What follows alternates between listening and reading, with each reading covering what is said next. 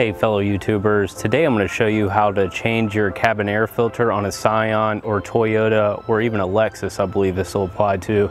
This will basically save you 50 to 100 bucks at the dealership and it's going to help you to have cleaner, you know, better filtered air inside, something that needs to be done quite often. I, I believe it's about 15 to 20,000 miles so it's basically gonna give you better smelling air, help your air conditioner filtration system work a little bit better because it'll be nice and clean.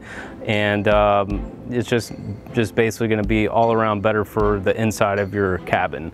So let's go ahead and get started on that. First step, open up your glove box.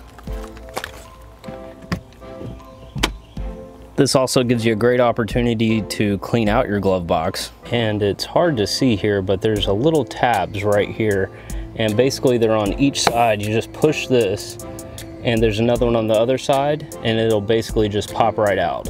So we'll just grab both of these and that slides right out.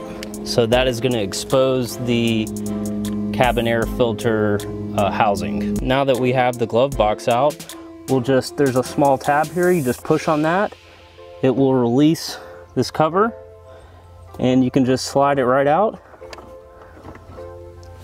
and basically this was a new one so I'm just kind of demonstrating this. But this my other one was pretty dirty so just grab your new one make sure it says this side up it'll tell you that and you can just pop it back in there.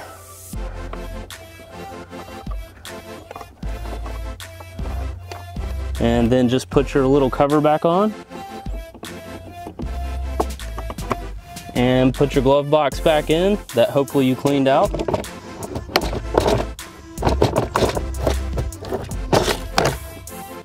And voila, you're done. Thanks for watching the video. Hopefully this helped you save a little money and do this yourself. If this helped you out at all, would you mind liking it and sharing it? Hope you guys have a great day. Thanks.